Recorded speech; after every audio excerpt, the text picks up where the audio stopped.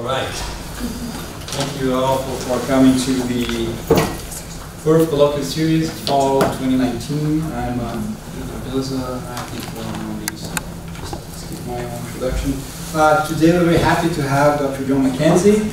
Uh, McKenzie research performance, media, and design and teaches at Cornell University. He's the author of Transmedia, Knowledge for Liberal Arts and Community Engagement, a Studio Lab Manifesto from uh, 2019, and a book that the, all the grad students had to read. At least part of it, Perform or Else, From Discipline to Performance from 2001. McKenzie's work focuses on the nexus of cultural, technological, and organizational performances that shape our contemporary world. He also gives workshops on tactical media and transmedia knowledge for community groups and researchers across the arts and sciences. Working with his collaborator, Aneta Stojnic, uh, as McKenzie Stojnic, they produce essays, lecture performances, theory, comics, and experimental videos. Today, McKenzie is going to talk about Civic Story Project, Transmedia Knowledge and Performative Transvaluation in Rural Communities. Um, uh, according to McKenzie, community engaged work in performance studies has long focused on the cultural efficacy of theater and other cultural performances, while multivalent uh, performance models remain underutilized. In this talk, McKenzie shows how the Civic Story Project helps to connect campuses and rural communities through strategic storytelling, transmedia knowledge, and critical design to generate civic discourse and action around critical issues. Please join me in welcoming uh, Jon McKenzie.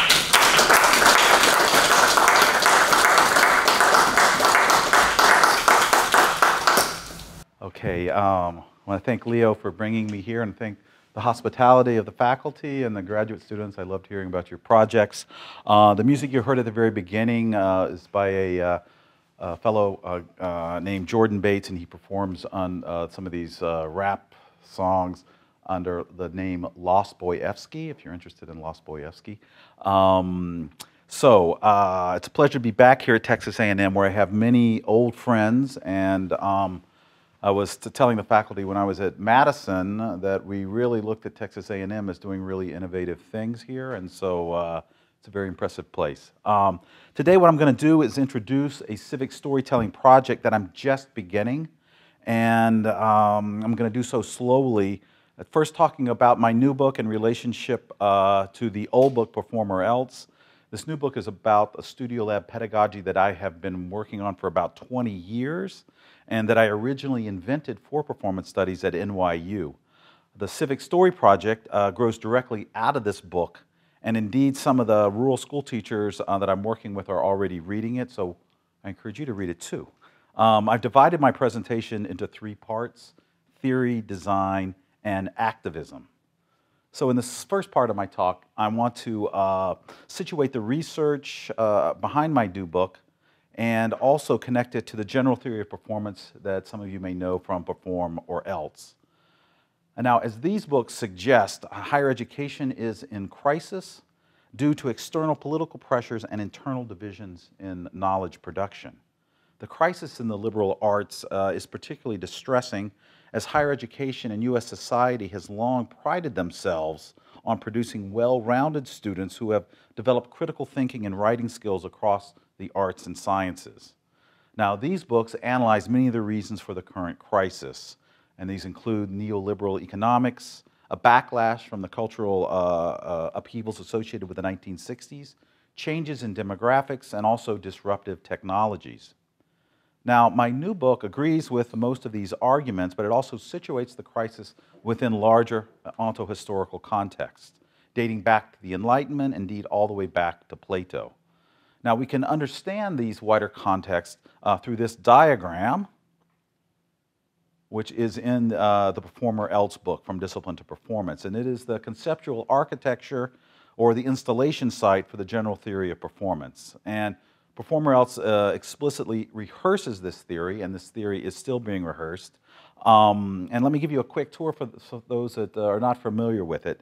Starting here um, at the level of performative uh, and performance blocks. And these are basically discourses and practices which come together. And so Schechner did a lot of theorizing on the performance side, and Butler did a lot of theorizing on the performative sides. But these two come together to create subjects and objects. Okay?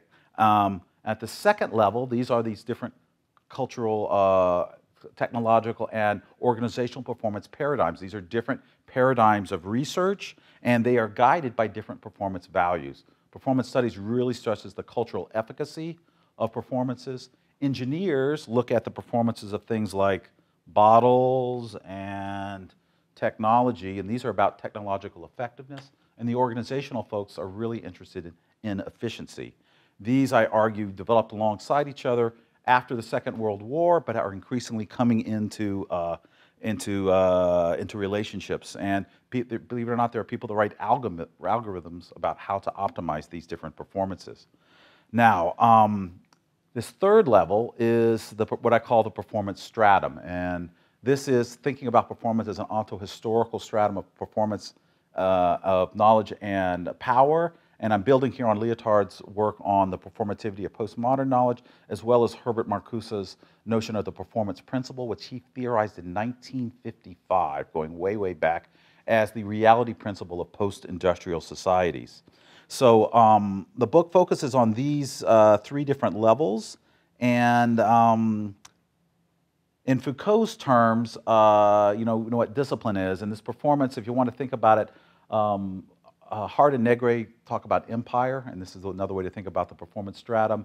Uh, Virilio talks about uh, the dromosphere, and so these are ways to think about what I'm talking about when it comes to uh, the performance stratum. Now, the new book, Transmedia Knowledge, focuses less on um, these performance paradigms and more on the transvaluation of performative values. And it calls for injecting values of cultural efficacy into systems dominated by uh, organizational uh, efficiency and technological uh, effectiveness. Um, another way to think about the difference, and really the main way to think about the difference between the new book and the old book, has to do with the performance stratum. Uh, as I said, in the first book, I really look at performance in relationship to modern discipline and humanism. In the second book, I'm looking at it in relationship, the shift from literacy to digitality. So I'm associating performance with digitality. Okay? Uh, like writing and logos, digitality is a pharmakon, both good and bad, and ultimately undecidable. It's what I call perform, uh, perfumative. And so I'm really thinking about uh, the relationship of performance and digitality, which Negroponte described as the condition of being digital. Now, the first mission of the, uh, of the new book is to democratize digitality. Just as in the 19th century, education sought to democratize literacy. And I define digitality as the ontohistorical apparatus and which reinscribes oral, literate, numerate, and gestural archives into network databases, that is, into the internet, and the associated changes in identity formation, social organization, and ontological uh, world building. So the book really, uh, to democratize digitality, uh, higher education, I argue, must rethink the division of knowledge into different disciplines and different learning spaces. Basically, the seminar room is the space of the humanities and the social sciences, the studio is the space of art and design, and the lab is the space of science and engineering.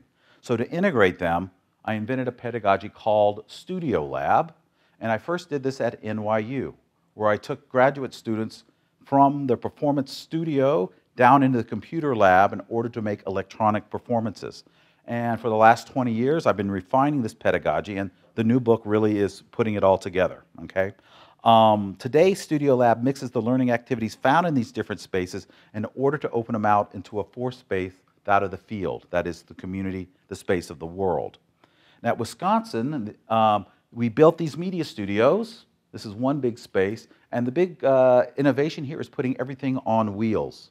So it can function in seminar space, it can open up and you can do rows like this and teach software, or they can be put into workspaces like studio spaces and work around them, all in one space. These are actually very, very inexpensive learning spaces, and I highly recommend, uh, if Texas A&M doesn't have these, you might think about doing this to get this kind of integration happening. Um, the idea is to combine critical thinking, aesthetic creation, and media making all in one space. Now, the book is a manifesto for Studio Lab, and it provides also provides an understanding for the more experimental back end of Perform or Else. All that challenger stuff, you've got to the back end, it's very experimental. This kind of explains the poetics of it. And today I describe it in terms of transmedia knowledge. What is transmedia knowledge? I describe it as knowledge created and shared with different stakeholders by moving across different media, such as books, presentations, videos, installations, posters, and websites. The key thing is knowledge moving across different media, thus transmedia.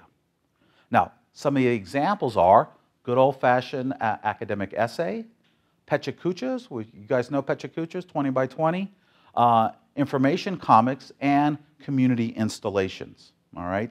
Um, other things, science rap, uh, science posters, dance your PhDs. There are about 20, 30, 40 of these genres.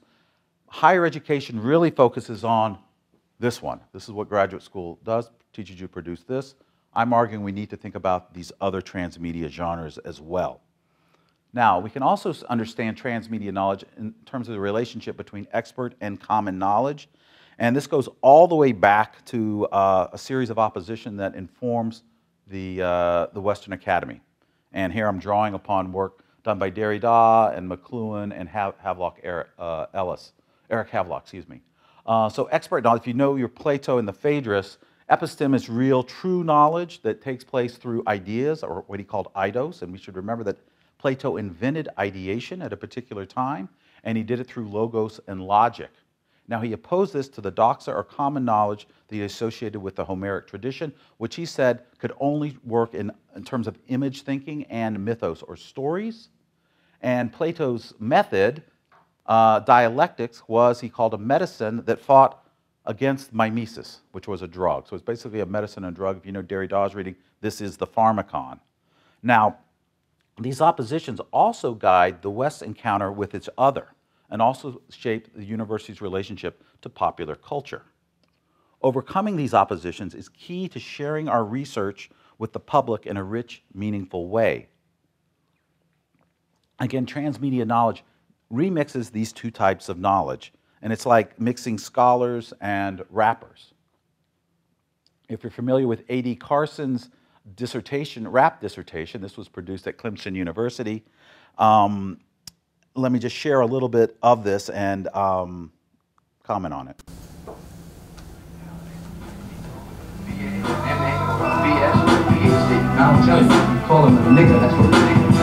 They say history is written by the victors, so when you see my picture in a book, it'll be consistent with my memory,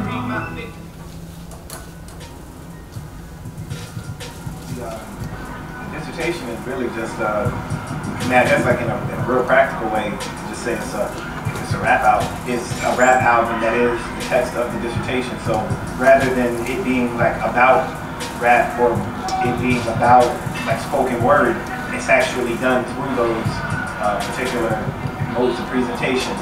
Uh, think some of the stories, the people that wanted to get it the way that they live it, that they're talking about it, they live it, they really that different from what we are spitting. And one of the reasons that I really wanted to do it that way is because you know, it's just like the metaphor that I use is like dope. Kweli said, you know, I, I speak at schools a lot because they, say I'm intelligent. No, it's because I'm dope. If I was whack, I'd be irrelevant.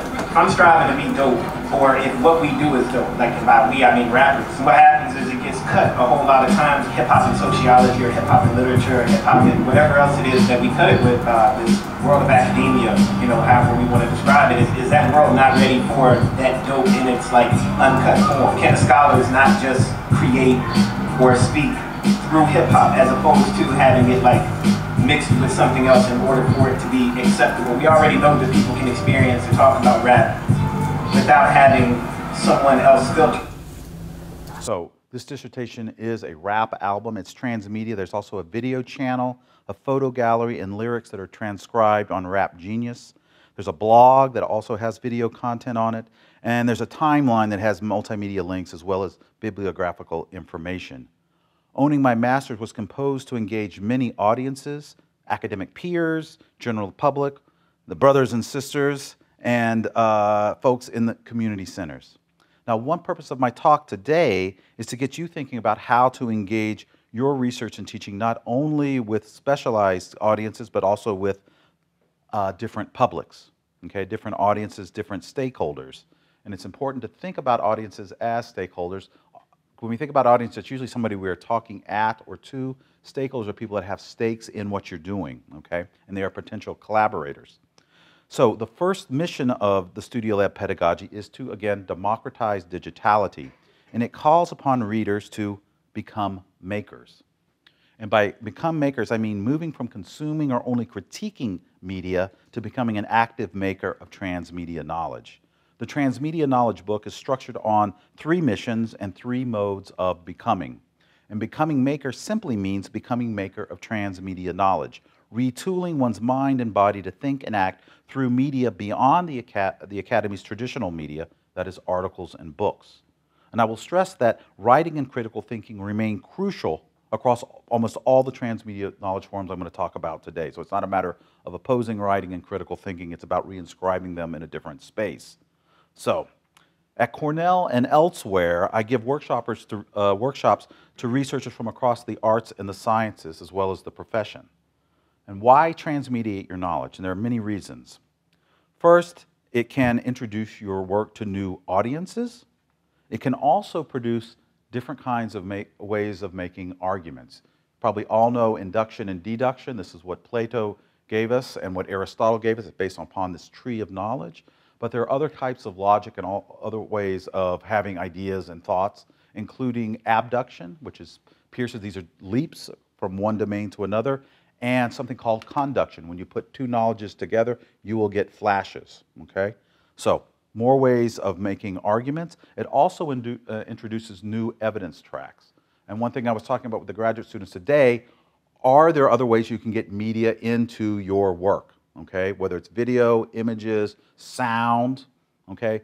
One thing about performance studies, it should have been doing this for a long time, but we had to legitimate ourselves as disciplinary formations and produce good old-fashioned books. But there's an opportunity to make other kinds of knowledge, okay? Uh, transmedia knowledge also allows for the co-creation of knowledge, and this is happening out in the, the world with community-based participatory research methods, and it can produce different kinds of impacts, okay? Not just communicating discoveries, but changing perceptions, informing policies. I do a lot of work with folks that work in the, in the healthcare, and there you're really basically affecting people's lives and perhaps saving lives, okay? Um, and indeed, I would say that uh, public health has been doing transmedia knowledge for about a century. Okay, I'm just providing a way to think about it in a little bit way. So this is some of the theory behind my current research into performance, digitality, and transmedia knowledge. I'm going to jump now to uh, second part, which is design. I've said that Studio Lab's first mission is to democratize digitality, and it does, through, does so through a second mission, and that is democratizing design. If democratizing literacy means that everyone becomes a writer, democratizing digitality means that everyone becomes a designer. Workers tend to, uh, writers tend to work in one transmedia form, that is the alphabet. And it's important to recognize the alphabet is transmedia. It's word, it's sound, and, and image in one thing. And in fact, translating that inside of our mind is ideation. Okay, so the alphabet is already transmedia. Designers work across different media. They are makers of transmedia knowledge. Now, we can find designers across this campus. I'm sure there are some right in this department. There are also some in engineering, in game design, in fashion, and environmental studies. Now, Studio Lab embraces all of these design fields while seeking to democratize a more general practice of design, critical design. The industrial designers Dunne and Raby argue that Critical design is design infused with a critical sensibility and that it unfolds not only in scholarly texts but also in objects and processes out in the world. Unlike art, they argue, design can situate critical thinking in a, directly in the world without representation and dramatization. I would say art tends to be representational while design is operational. Or more bluntly, artists make art and designers make everything else. Design can be understood as the art or performance of everyday life, incarnated in food, clothing, environments, and experiences around the world. And it's significant that the subfield of performance design, how many of you heard of the field of performance design? It mostly comes out of PSI and performance philosophy. And these are folks that study, say, theater design, urban planning and uh, the design of spaces, particularly with bodies in them, okay? Now, Studio Lab is a critical design pedagogy that mixes critical thinking with tactical media and design thinking.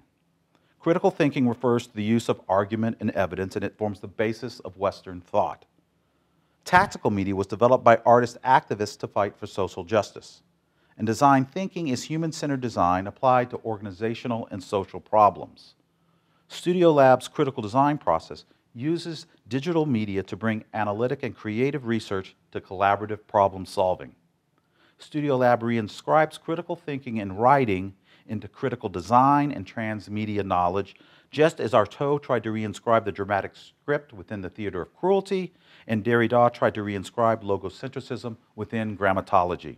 So it's a similar move. It's not an opposition, it's a displacement or a reinscription or a transmediation. My critique of Derrida is he remained too much in the book. He did not transmediate enough. Transmedia knowledge is post Platonic, post ideational. It offers a new image of thought. That new image of thought is what I call thought action figures. They are to digitality what ideas were to literacy, an emerging mode of thinking and acting. Thought action figures, or TAFs, are not limited to human beings. Animals, plants, machines, processes, materialities, ideal entities, all are becoming taffy. That is, sticky networks informed by chance and necessity that gather and disperse events throughout the multiverse. TAFs challenge the mind body split, the theory practice divide, and the performative performance disjunction. Now, TAFs, like I said, are not limited to human figures. Indeed, some of the most powerful thought action figures are inanimate objects, plants, animals, and machines. For instance, Jacob's ladder from the Old Testament visualized movement between different levels of existence. Centuries later, Aristotle's famous categorized, divided, and split up these levels into different branches, producing the tree structure described by Neoplatonists. From these Platonic roots descend genus, gender, genre, as well as specialized knowledge that structures our universities, our colleges, our departments, and our subspecialties. You can see how powerful this tree is. Contemporary philosophers such as uh, Deleuze and uh, the psychoanalyst or schizoanalyst Guattari have challenged this arborescent or tree thought with rhizomatic thought, modeled on rhizomes such as grasses and tubers, whose root systems form transversal nodes and networks. So, stepping back, the TAFs of ladder, tree, and rhizome correspond respectively to orality, literacy, and digitality, and thus to ritual, theater, and performance. Today, thought action figures emerge as functional thinking machines which multiply almost by themselves. So, the second mission of Studio Lab is to democratize design, to make the critical design of transmedia knowledge as ubiquitous as critical thinking and alphabetic writing. To move to this next level requires another level of becoming beyond making. It requires becoming builder. Just as transmedia knowledge offers a new image of thought, becoming builder offers a new image of the thinker.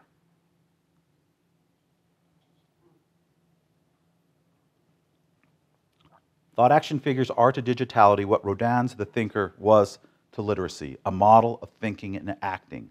The figure of the romantic genius of originality was displaced, is being displaced by the collaborative bricoleur of recombination.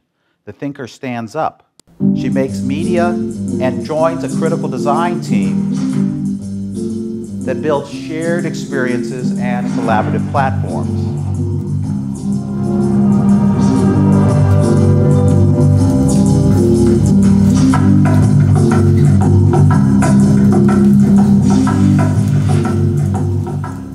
So now what I'm going to do is share some of my own collaborative work in critical design.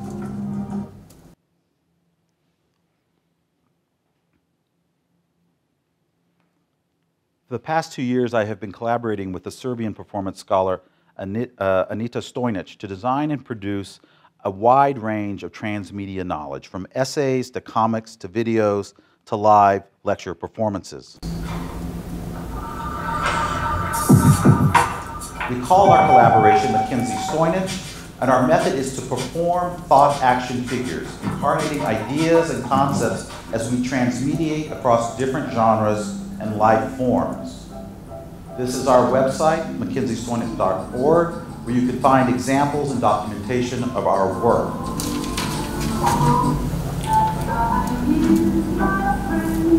And uh, this is a performance in uh, Utrecht where we got the Dutch to dance. The Dutch are famous for not dancing, and we got them to dance, so we consider that a success.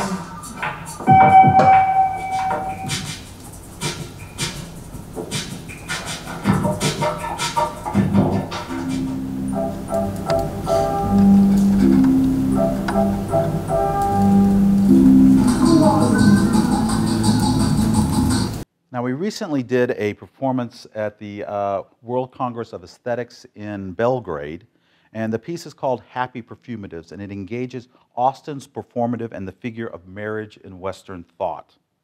Hegel, for instance, theorized the Aufhebung of spirit and matter through the figure of marriage. See, and if you know anything about Hegel, this is the phenomenology of spirit and basically the whole ball of wax theorized through marriage.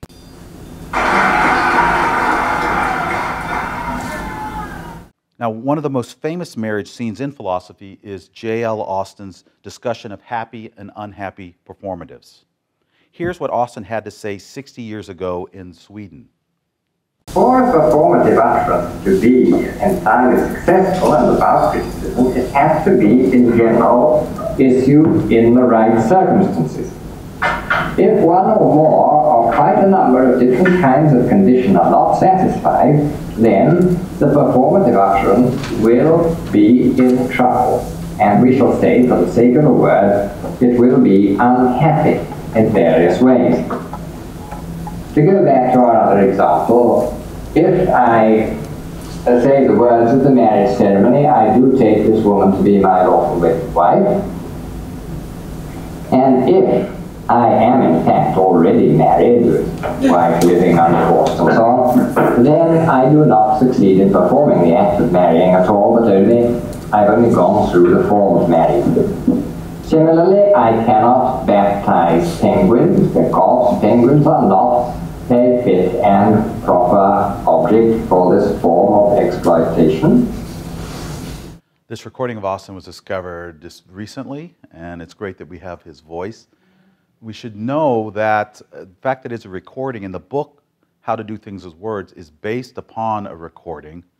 And remember, he excluded recordings from the realm of the performative. So if his work has had any kind of impact in the world, it is doing something um, that would interest this fellow, Jacques Derrida. In signature event context, Jacques Derrida deconstructs the opposition of happy and unhappy performatives, noting that Austin himself gestures beyond it towards a general theory of performatives. It is here that Derrida develops the notion of general citationality or iterability. Now, iter means both repeat and other. So, iterability means other ability as well as citationality. Derrida marks this iterability with the concept of the perfumative, which he develops in his reading of Joyce's Ulysses. The perfumative is the citational mist of any and all performances and performatives. Perfumatives point to the iterability of all performatives and performances. In the case of weddings and marriages, this citationality and other ability stretches back millennia like a collective unconscious, and we see it in painting, songs, and narratives.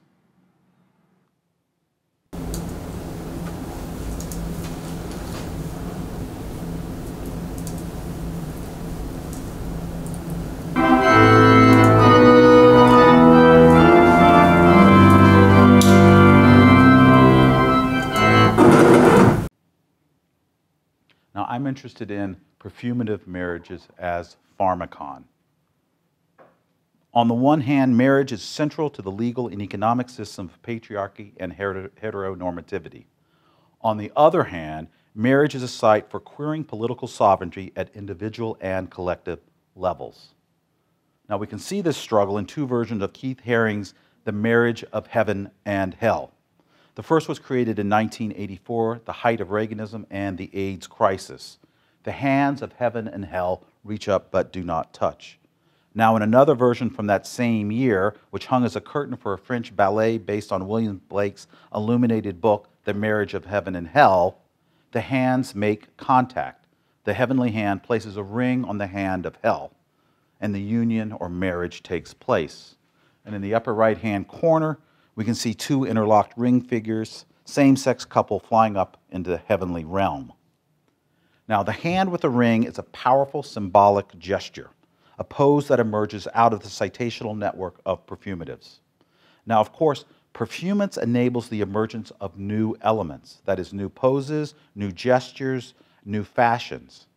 And perhaps most importantly, a change in casting, the expansion of proper persons being married to include gay marriages. The perfumative iterability exposes the plasticity of marriage. The citationality is recursive, and these performative forces can cascade through larger social systems.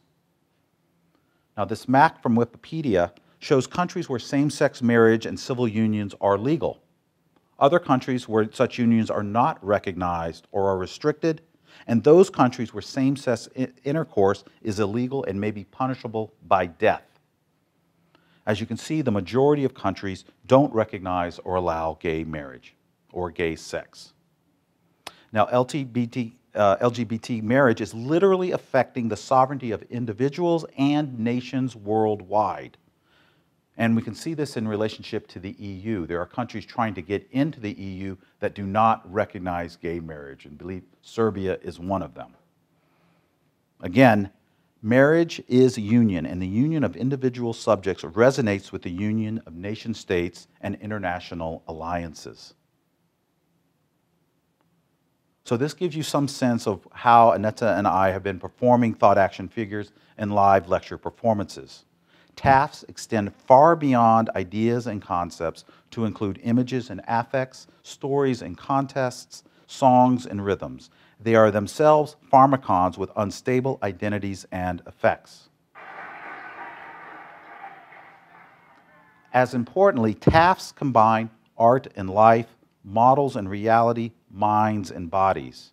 For their part, lecture performances are pop very popular in Europe and demonstrate some of the more experimental forms that transmedia knowledge and critical design can take.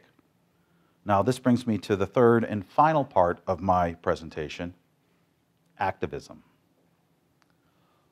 Thus far, I've talked about my current work from the perspectives of theory and design, arguing that the crisis of higher education requires scholars to reinscribe critical thinking and writing within the wider space of critical design and transmedia knowledge.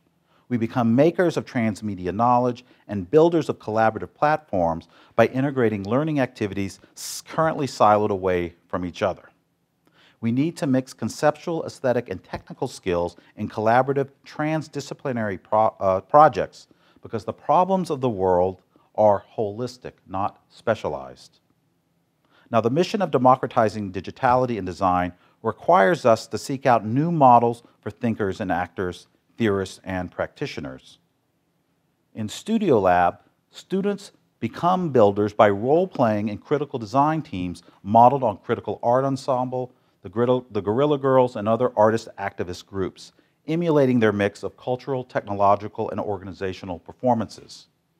One part of critical design involves conducting critical thinking in tactical media, that is, transmedia knowledge that challenges and sometimes subverts dominant power relationships. And Critical uh, Art Ensemble have done, have done a lot of theorizing and practicing of this tactical media. As we've seen, the model is not the, uh, the romantic original genius, but the collaborative uh, recombinor, uh, recombinant or recombinant bricoleur. Now, as I said at the start, the new book addresses the crisis of the liberal arts and its title again is Transmedia Knowledge for Liberal Arts and Community Engagement. Now, Studio Lab Manifesto calls for mixing activities siloed in seminar, studio, and lab spaces in order to enter a fourth space, that of the field, the community space outside the academy. And so I'm going to conclude by discussing a project that I am just beginning, and it's called Civic Storytelling in Rural Communities. Now, the motivation for this project are the devastated communities across America. As you may know, life expectancy in the United States has declined for three straight years, driven by overdoses and suicides of people in their 20s and 30s. Deaths both caused and contributing to the decline in rage of communities who feel left behind, who increasingly resent and reject the knowledge coming out of public and private universities and colleges. Kathy Cramer at Wisconsin has described the politics of resentment that drove Governor Scott Walker's attack on state universities. She basically went around and interviewed people around the state of Wisconsin and found that they really did not like Madison. Okay? And you could say what uh, Trump has done is nationalized this resentment. Jonathan Metzl argues that this resentment combines racism and rejection of government programs such as Obamacare some whites would rather die than accept expert knowledge and public support. This is where transmedia knowledge and civic storytelling can potentially intervene. In this new project, I'm collaborating with Gretchen Omarczyk, who is a uh, cooperative extension colleague in development sociology. Formerly, that was agricultural sociology. Our goal is to get high school students to use transmedia knowledge and critical design to begin civic storytelling within their communities. Civic storytelling is the sharing of stories, both intimate and strategic, between different stakeholders to address pressing issues within local communities. Now, my interest in civic storytelling grows out of my research and teaching of transmedia knowledge. For the past uh, year or two, my Cornell students have worked with refugee teens at a local uh, community center through the Urban 4 H Club, and also with teens awaiting trial in the New York juvenile justice system at a high school called George Junior Republic. This year, I'm working with colleagues at another school, Dryden High School outside of Ithaca, also with the local History Center and the public library. The Civic Still, uh, Storytelling Project grows out of this work and my research on transmedia knowledge, and we're trying to develop a civic story kit, which will enable real stories about real issues for real audiences and help connect rural schools and other community groups at, to faculty at Cornell and other schools in central New York. The kit will be online and it will offer different ways for uh, uh, teachers, potentially any uh, school or discipline, to work in these transmedia genres, such as comics, pechakuchas, videos, and installations. Developed from the bottom up with rural teachers and students, the kit will feature ideas, assignments, examples, and other materials, again, that potentially any teacher can use. And some of the things we are working on are precisely suicide, addiction, poverty, things that are really affecting these, these communities. In upstate New York, the populations are declining rapidly. Also, they think in the next two years, something like 60% of school teachers and 60% of school superintendents will leave the profession. There is a crisis in public education. So in Ithaca, we're planning to have a series of civic storytelling events at our beautiful new uh, History Center in downtown Ithaca. The center directors wants not only our students to come and tell stories there, but also to use their archives, to put their stories into, uh, they have a, something called a story vault. This is built in an old bank, and they actually have the old vault there. You can walk in and record things. Um, but they also are interested in students uh, doing UX analyses of their installations and, more importantly, developing new forms. So if you know digital storytelling, it's often just a headshot like this. Imagine kids using Instagram to start doing totally different genres of storytelling. This is what they are interested in. Now, this spring, we're going to be developing a, a, kit, a pilot kit, with folks at Dryden High School and our local BOCES. BOCES stands for the Board of Cooperative Education Services, which provides local school districts with services for kids with special needs and enhancements such as art. We're also reaching out, so this is where Cornell is, we're also reaching out to Syracuse and Hobart William Smith. The, the idea is to matchmake between colleges and local rural schools in order to help faculty learn to transmediate their work for local communities and provide feedback uh, coming the other way. Our hope is that the Civic Story Kit can be a catalyst for matching rural schools and other members of something called the Central New York Humanities Corridor. Our hum, uh, Humanities Center has a $1 million grant from Mellon called Rural Humanities, and it's providing this, it, we connect to these other schools, all right? Now, this brings us to Studio Lab's third mission, and that is to remix or to transvaluate performative values. Specifically, um, to bring, as I said before, to inject values of cultural efficacy, that is, of doing the right thing, into organizations and social systems dominated by values of technical effectiveness and organizational efficiency. So the argument is from Perform or Else, contemporary organizations do not legitimate their knowledge and power through grand narratives anymore, but through input-output matrices. Okay, so we could ask how this department is doing in terms of its hitting its performance marks, um, or whether you're still legitimating yourself through grand narratives. That would be interesting. Uh, so cultural efficacy is the bread and butter of performance studies, but I'm interested in problem solving far from discipline and revalorizing efficiency and effectiveness rather than only critiquing them. Okay, there is something about efficiency and effectiveness we should pay attention to because it allows our projects to be scalable and sustainable. Now, this is where the third component of critical design comes into play. In addition to critical thinking and tactical media, Studio Lab turns to the collaborative problem solving method of design thinking. Design thinking is a human centered design practice developed at Stanford's D School and the design firm IDEO. Beyond its use by businesses, schools, and universities have also been exploring its educational potential for about a decade. Why is it of interest to Studio Lab?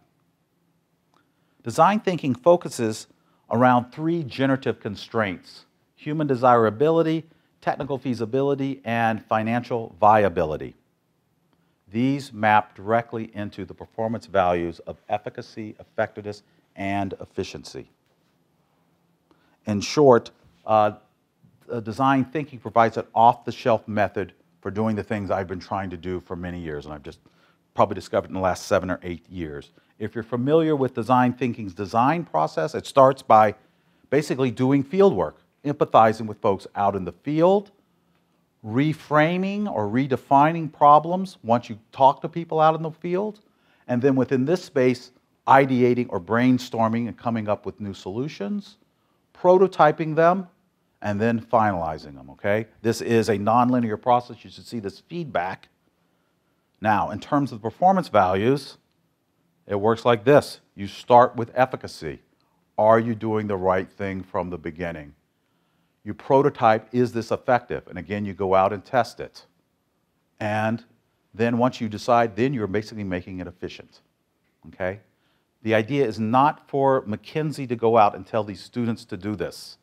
It's to train them in design thinking and to get them identifying their stakeholders and doing this. Okay? So it's trying to be as bottom up, that's what's called human centered design. Now, there's incredible research that happens, uh, advanced research in design thinking. And this is known as a two by two conceptual model. How many of you have ever seen this before? Comes out of engineering. So, this was developed to look at collaboration of software development. And the two axes are abstraction, high abstraction, low abstraction, low resolution, and high resolution. Projects start with sketches. They move through rough, rough prototypes, user prototypes, test products, and then manufactured products. Okay? You get the same values happening across here. Big innovation happens there. You're not very far in. Small innovation happens down here.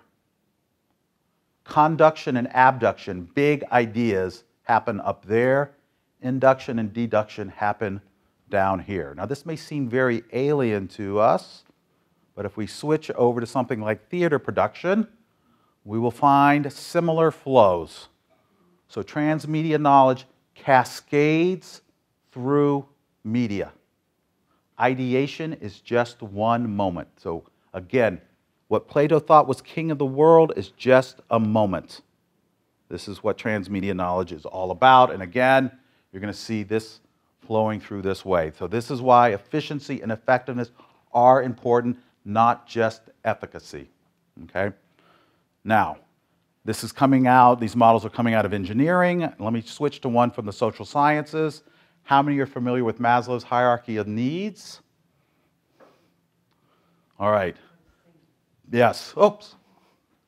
That already went too fast.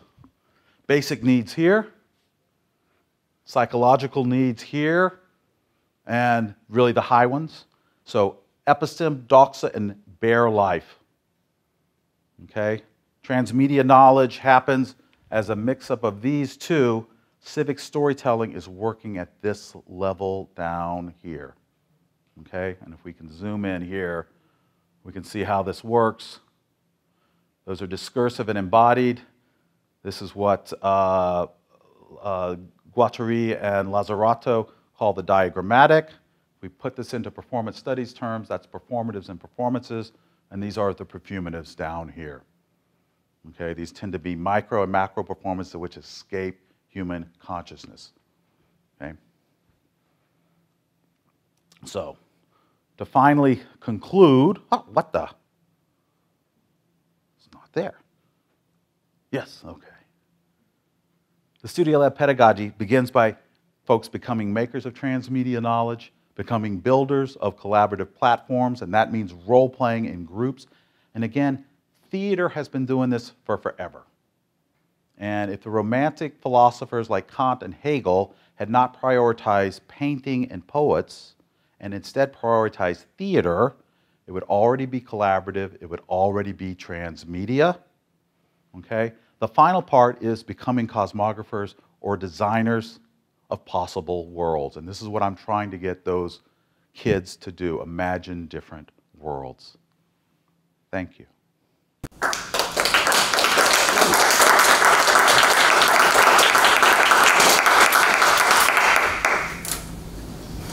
Right. Time for questions.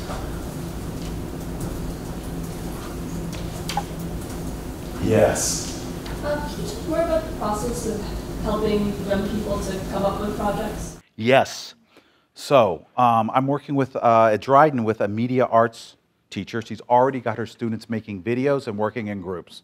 So they're already makers and builders in my sense. What they have not been doing is thinking about taking what they're doing. Well, two things. They really haven't been addressing really tough issues. Lots of times they are self expression or come up with kind of a funny play. That's great. Can we get them actually dealing with real problems? The second thing is, is to do that storytelling outside of the classroom. So, what we did, we went in with a model of this kind of, uh, uh, what do you call it? I'm working with, with guys working with an NSF grant called Transform. And it's like this thing that you could make media and present media on. But what we did was say, okay, take this thing and now imagine it for two different audiences in two different places, like down in the, the public park in Dryden, or take it into Ithaca and imagine presenting it, say, to the local school board. Getting those students thinking about doing their, what they're doing to people besides themselves and their teachers. The stakes go way, way up. They are nervous. Even presenting to me. A couple of professors come in and they're presenting to me and they're shaking, but afterwards they're like, oh, wow, that was empowering. So part of it is just getting them to do that and to, um, again, we're planning to go to the History Center. We don't yet know what the audiences are. It could just be their parents, it could just be the PTA, or it could be someone else. But just getting them out of that space into another space, talking to real people about real issues is very, very empowering. The big move is to try to pilot it at this level with some real uh, uh, um, test proof of concept and then jump to this other level. And this is where BOCES comes in, because then you're working with superintendents. So if you can get superintendents at this level and real projects here, then you've got a pincher movement that can put pressure on principals and teachers. Okay, so that is the big move. Yeah. So that's what we're trying to do. I will say that uh, where I'm inspired, there have been a number of suicides in the local school system and uh, Sonny Miller, the person at BOCES, uh, worked with a student that made a video about one of these suicides. Okay? What I am really hoping to do is to jumpstart a youth driven uh, group analogous to, say, the Parkland Kids or the Sunrise Movement, you know, the environmental, around mental health. It is a taboo subject in schools. So, one thing that connects Cornell to these schools is suicide. Because there are suicides at Cornell, people jump off those lovely bridges into gorges. That's something that Cornell does not want to talk about. That's something that the schools don't want to talk about. But they know that mental health and well being is really, really crucial. Okay? So, one thing that's happening in New York, they're taking the model of community uh, schools that's come out of cities, comes out of New York City, that schools are also places for mental health, place for safety. They're not just schools. So they're exporting that out into the rural communities. Another thing I'm trying to do is bring something from design thinking. It's called designing for extreme affordability. So at the D school, they teach this, and the model is we're going to help uh, women in Africa uh, have better water supplies. People that make $2 a day. Well, you don't have to go to Africa to find poverty. It's just 20 miles outside of Ithaca, you've got extreme poverty. So use that same model and try to problem solve there. Yes. So, um, I think my question is, is related to the question you just answered. Okay. And that I'm curious, I'm thinking about the relationship between your work with uh, McKenzie Stojnić and the, the Civic Storytelling Project. In one area, your work with McKenzie Stojnić is theoretically dense. You know, it seems from what we've seen that these trappings of sort of high art to not be quite as accessible. The, the or I shouldn't prejudge like that, but you know, it's it's in a different mode. Uh, the work with the Civic Storytelling Project is, as you said, bottom up, is devoted to accessibility and to kind of bringing a variety of stakeholders in. So I was curious about how you, as a, a thinker and creative artist, sort of navigate moving between those two layers. Sure. And I'm also thinking about what the art world, uh, uh, the way in which you conjoin the theory and art on the one hand with uh, institutions and policy on the other, because the, the Civic Storytelling Project is as much about the institutional performance that you've been talking about. Right. So that's a great question. So one thing of doing, so we did that at an International Congress of Aesthetics, who are very straight-laced, very disciplined, just to show that there are other ways of working. They are, however, have studied the avant-garde a lot. They're familiar with it.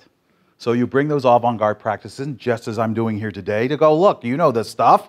Can you do it? You, I get the sense that you folks are doing this. You're a, a group that's ripe for this. Um, by connecting that to these, if you like, lower level ones, is just to show the expanse. Okay?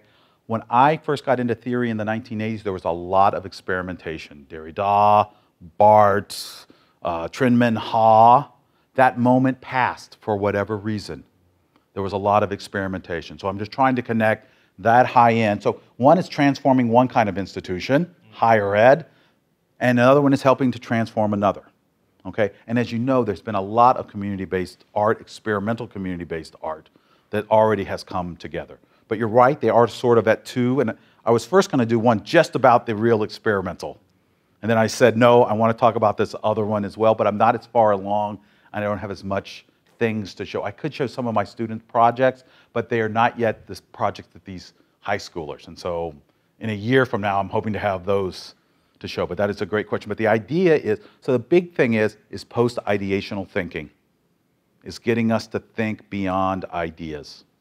Okay? And so that, and that is what that, those French experimenters, that's what, you know, the arcade project that Benjamin was doing, a similar thing. Thinking beyond the tree, thinking belong beyond forms is things, so the thought action figures violate like the three laws of thinking. Identity, non-contradiction, and the excluded third middle. So it's trying to think that mode and think, this is the thinking in terms of pharmakon. It's not just writing is pharmakon, the world is pharmakon. It is in the end undecidable, but it is shapeable.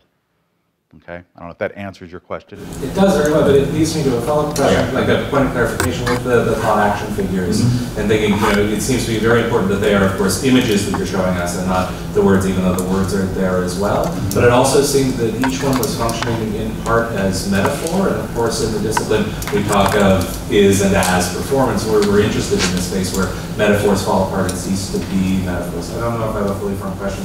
No, I'm just thinking questions come how metaphor fits into Yeah, yeah. the text. So, um, it, these, these can be understood as metaphor, and a lot of people will see them as metaphor, but metaphor is white mythology. Blanc, and this is Derrida has an article called Mythology Blanc. The West has concepts, everybody else has figures. What Nietzsche taught us was our concepts are forgotten metaphors, but the thing is that there's no literal meaning. So, uh, love is like a rose. Well, we have this unknown thing called love. Now we're going to go to a rose. But who has the proper notion of a rose? Is it the botanist, the gardener? What if it's the lover? Okay, so it moves beyond similarity and you get into all kinds. So, this is basically where dream logic becomes important, which cannot fit into metaphor. It's condensation to displacement and ways of connecting things that are far exceed metaphor.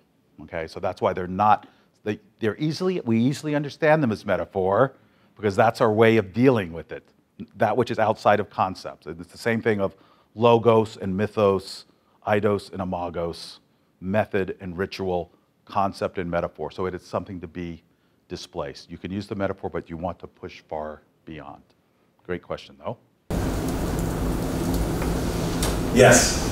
I wanted to uh, um, describe another scenario Okay, and sort of get your comments about applicability. okay. Um, in Ghana, um, there has been recently a discussion about what people have referred to as a social crisis. Um, this happened when higher education uh, was, was uh, limited in the sense that formerly government paid a lot of it, uh, but you know, the neoliberal drive and you know Just like America. just like America. And so, but as that had happened, there had also been an expansion of primary and secondary education. So what had happened that you, was that you had Is that because of the population explosion? Why did primary and secondary explode? um, partly so, and large youth uh, population, but also even when the government moved away from higher education, it sort of put more of it into basic and, uh, and secondary education. Okay, interesting. Not as much as it should, but it expanded there. Right, What has happened is that there are large numbers of, of young people right. who come out of the secondary education, but tertiary education has shrinked, and so there's a limit. There's nowhere for them to go. There's nowhere for them to Right, go. right. Uh, a lot of them, however, people say that we've moved beyond literacy to, di- to, to uh, digitization because a lot of them, because of the popularity of, you Right. are, are very, they are very adept at computers and uh, you find them in the computer, uh, uh, what do you call those places? Not Internet cafes. Cafes, Yes. cafes. And this is, this is sometimes the, the, the origins of 419 scams, and, right? Because there's a channeling of the economic frustration and lack of upward mobility into schemes that will generate some kind of income. And people have seen that as a social crisis. And I've been thinking about that as an opportunity. Uh-huh. In the sense that this is a generation that is already into, into, uh, um, um, They have the technical skills. they have the technical skills, or Right. at least show an affinity Right. to develop it. And is that, eh, you know, and I, I, I- I've often wondered whether the way our higher education is structured is, whether it's structured in a way that even suits the emergent skills of this generation. Right. And what could be generated that would make use of that emergent skill, but at the same time provide the, the, address the problem of employment Right. and need. Right, But some people say, well, why give them all those skills? They'll, they'll, they'll get into more scams, right? I mean, that's, that's the sort of elite critique of, of denying this, this community opportunity. But anyway, that's, I mean, you may not have answers, but I'm, I'm just curious. Yeah. On the thoughts. Well, I think that, Um, uh, we're m- more, the, if you like, the base is much more further developed than the superstructure. We have these technical skills, but we don't have ways yet of thinking and organizing and thinking about uh, different ontologies. So, I mean, yeah, so they can do all these things, but really, are they organizing and are they, and I I'm relying a lot on problem solving, but it could be that problem solving is part of the problem, or at least being led by specialists and experts is part of the problem. And so, um, I don't know if you know, there's, a, there's another uh, genre out there called RSA animates. Do you know these? So, Royal Society of Arts, and they will bring in someone like Zizek to give a talk, and then afterwards they will do one of these whiteboard animations. So it seems just as he's talking, there is one done by Zizek. There's also one done by a guy named Sir Ken Robinson called Changing Educational Paradigms. And what he looks at is uh, tests done on uh, divergent and convergent thinking. And divergent thinking is kind of coming up with a million answers, it's creativity, whereas convergent is coming to one answer. So if you're good at divergent thinking, like I mean the example he uses, imagine different uses of a paperclip. And we might come up with seven or eight, but if you're really good at that, you come up with four or five hundred. Because you're you can do this. So they test, and I'm just channeling him, they test a group of uh, people, and they found like 98% of them were geniuses at divergent thinking. These kids were about four or five years old. After two or three years of schooling, guess what happens? Funk, down. We specialized. So a lot of my students say, Jon, I haven't done anything like this since I was in elementary school. Okay? Because we're specialized. We're all seated. One of the big things that Aneta and I do, we look at the thinker. Why is thinking like this? Why are you guys all seated with your hands on your chin? It's, it's contemplative thought, it's inward thinking. So, there are other modes of thinking. Um, so, one is the, the infrastructure, the base is far more advanced than the superstructure, and we don't yet, and yes, you come here and you specialize. That's what getting a degree is. So, how can we do this and this other thing? Because I have a book in my head called The Tree of Knowledge and the Rhizome of Life. The tree of knowledge is what the university produces, but life is rhizomatic. Siloed studies makes for siloed service. So we got to figure out a way to problem solve from the bottom up in a much more transdisciplinary and I would say transmediated way. I don't know if that gets an answer kind of there, but the problem that is there is here too. Okay? And that's so why are 60 or 60% of school teachers and superintendents getting out? The pay is terrible. They've had 10 years of first uh, No Child Left Behind and then Common Core, basically teaching to tests. There's one answer, and you better know it. That, is, that kills both learning and teaching. Okay, so that's, there are lots of problems. We're actually at Cornell trying to figure out is this an opportunity for our humanities graduate students that we're having a hard time placing? You know, you would have to change the way that teachers are hired because that itself is specialized in ed school. Is the ed school here or in Austin? Is the education? There's not an ed school here. Is it in Austin? There's a college, yeah. There's, I'm sure there is, and I'm sure it gets certificates for people to teach out there. Okay? The question is not whether those are, do you know the answer? Yeah, yeah, they do get certificates. They do get certificates. Yeah.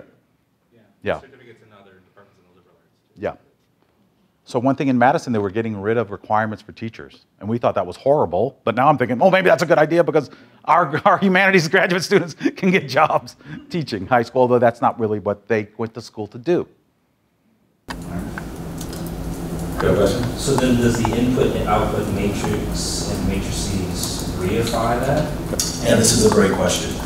So, There's part of me that says, yes, transvaluation of performative values, but that efficacy is probably still defined in all too human terms.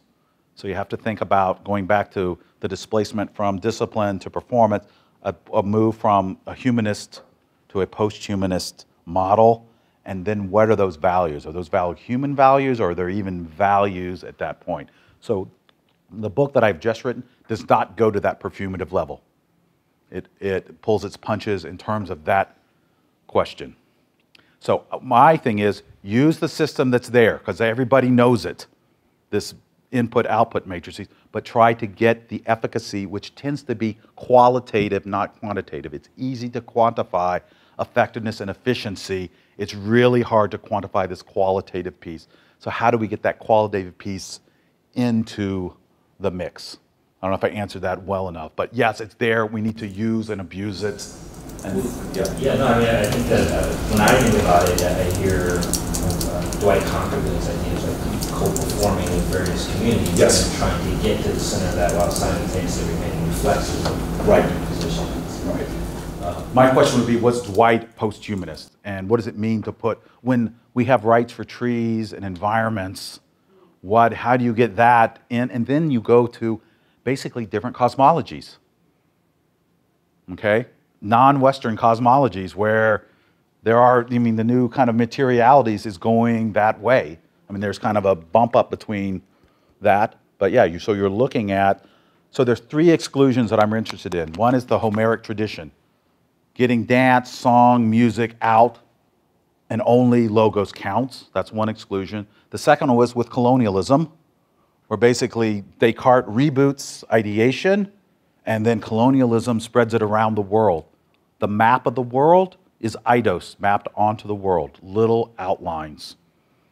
Okay? And the third one is in the university popular culture. So we need to break down those exclusions and probably maybe the most important one is that colonial one because there are all these life worlds out there that could have potential i mean again i can only fall into solutions but maybe it isn't solutions you know maybe it's some other thing i don't know if that answers that well enough so yes dwight absolutely just the question is how do you get the non-human or the post-human into the mix follow up Uh, I do, but uh, Go, no, go ahead. No, no, were you there? No? Go ahead. All right, okay. I'll put you on the spot. Skepticisms, raw critiques. You're out of your mind, McKenzie. No? Yes. I'm not sure I understand the skill of the thought action figure. I'm- I'm not sure what that is. Yeah. So if uh, I'm trying to think about it as a way to come up with, we're not only ideating, having these mental constructs, we are working across media, and all of these things are figuration. So the really the move is from ideation to figuration, and so Lyotard was doing this, Barthes was doing this, thinking about figuration that has much more of a uh, well, that includes the affect. It's trying to get over the mind body split because ideation is purely mental, and figuration has been this thing that's sort of on the side of metaphor or side of myth, trying to come up with a mashup. So that's what thought action figures are. We do a lot with the human body because that's the way we figure. But some of the most powerful ones, and I showed another one, you know, the desktop. The desktop is there for a reason. You guys are sitting at desks. Bureaucracy is ruled by desk. It dates back to the Chinese. The original scholars were scribes. It's a powerful, powerful thought action figure that we don't even recognize, and it's very concrete and it's also inscribed in our head. So part of it is just a materiality. What Nietzsche would say is you take the concept, you go to the metaphor, and then you play around with that material and where it leads. And it won't just be metaphorical at that point. So that it is, it takes practice, but once you kind of get it, it's like riding a bicycle. Ah, figuration. And again, there have been a lot of people that have tried to theorize that. The trouble is, and this is kind of what I was dealing with Perform or Else, concepts can only go so far. Then you have to reinscribe them in a different space. And that's what happens at the end of Perform or Else. That crazy part, if you've ever gotten there with the challengers, that's happening, if you like, within an aesthetic frame. So that's an explosion. Yeah, it's an explosion, but it's also a gathering. I mean, so this is Heidegger's explosion and coming together at the same time. And you can think about thought. You can have mind blowing ideas, but you can also concentrate. So the move is to have great flow, but then also these breaks. You need to have those breaks. Critical thinking is that break, it's critical distance. But we've just valorized that to that's all we have, and we're suspicious of the embrace. So we need to be able to have both the embrace and that splitting up. Yeah, and become com- and we do that anyway, but we usually cover over that. With some sort of nice linear narrative. Now, great question. I don't know that I can fully explain it because just- explanation is usually explain the unknown in terms of the known, and I'm trying to ship it out towards the unknown in a comfortable way. Yeah. I often say it's a move from um, isolated critiques of the bad to collaborative creations of joy. That could be under, understood that way. So it's not just isolated critiques, it's collaborative. And you guys have been in flow. You have. And you guys have also been in collaborative situations, which is hell on wheels. Right? Yeah. So, Good with the bad. Do one more? Your follow-up, you ready to follow up? No. Where does kinesthetics come into it? That's what I thought you were gonna ask. Well, I mean, I think that's the convergence and divergence and Uh-huh. conjunction that's, I mean, even if the seat, even the scribe is in motion to Mhm. an extent. Very slow, you're right. I mean, I think the ultimate kind of negation of movement is, is the prison cell itself, Ah, mhm. which, as we know, rural communities are oftentimes invested in Yep. Explosion of the prison industrial complex because it creates a whole other kind of economy. Yep. Um, But I wanted to ask a a kind of practical, a more practical question about how this then relates potentially to um, empathic design and UX design. And are there, I mean, I don't know if we can get out of the conundrum that I think Professor Gonker was gesturing towards about, you have, you have this potential amongst individuals who are engaged in these robo scams or, or whatever, but the, the technology is there behind it, which can be transformed to something else. But we have a complete erosion of the public, right? Um, then how, how then is this translatable potentially into empathic design and UX, UX experience or UX? Yeah. So I you mentioned Instagram, Yeah. but that's all, that's really just a tool, as a function. Yeah, yeah. How do we, so with each of those becomings, becoming there's three design frames that this new book lays out. One of them is called CAT, that's conceptual, aesthetic, and technical. And that is that maps right into seminar, studio, and lab. So one way to evaluate, so one of the problems, we know how to evaluate papers because we've been doing it for millennia. We don't know how to evaluate these other transmedia forms. Of course, we're not practiced in them and we don't have models. So I try to provide models. One is that cat. So you can look at what is happening conceptually in this, what's happening aesthetically, what's happening technically. Artists have a hard time because they're trained to merge those things. So they're like, I can't take them apart. But once you start transmediating across different media, you will see the concept tends to, and I have a great example, I didn't show it. The conceptual content tends to remain the same, whether you're doing a paper, a video, or a poster. The tool changes. It's Word, it's PowerPoint, it's whatever, Illustrator. Then the aesthetic can either change or not change, depending upon, for me, the target stakeholder. For me, the genres need to come out of the stakeholders okay? And then you can use that cat frame. So that's becoming maker. Becoming builder or collaborative, that's where I bring the UX in.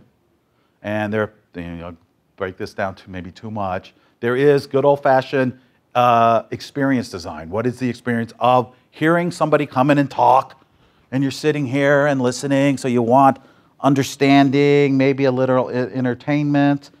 The next part is information architecture. How was this thing structured? Three parts similar thing, boom, boom, boom. The third part is information design. What's the look and feel of each of those different parts? The model here, though, is ACT UP. Because ACT UP took that anger and rage inside of them, and they write about this, and transformed it into love and understanding. So there is an internal, what I call an experiential architecture that's connected to these platforms and these shared experiences. And that's what you're trying to do, is you're trying to shape yourself and then connect to another community and its platform, whatever it is. Okay, so that is the, that's where the UX part comes in. The third design frame is design thinking. So each one of those becomings maps into a particular design frame, and I kind of teach it that way. And again, uh, the CAT model is really formless. It's just, I'm describing this thing in front of me. The UX is, turns it around. What's the impact on a stakeholder? Desired impact, and it's some kind of a collective experience. Okay, so there would be yes, you're not robo scamming. You're doing. I mean, that's a platform connected to another platform. But what is the larger thing that comes out of that? Okay, so those kids could use that same platform and do something else if they were so oriented. And this is where the ontological part comes in, a different ontology.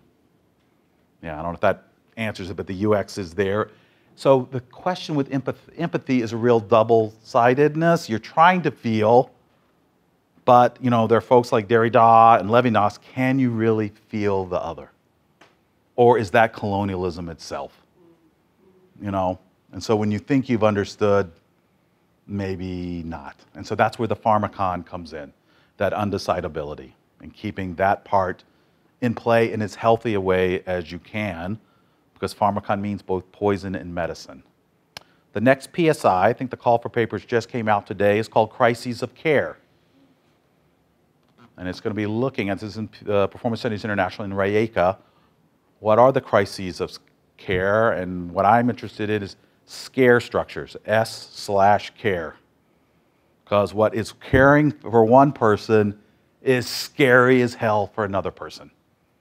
And how do you respect that undecidability? Yeah, yeah. Are universal human rights the greatest things in the world or hell on wheels? What if it was both? Yeah, all right. So then what do you do? Now, great question, whatever that question was.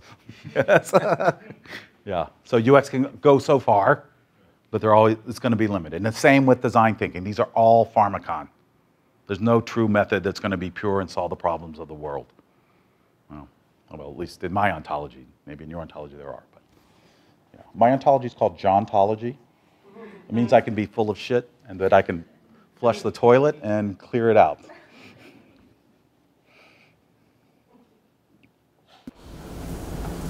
Thank you, guys.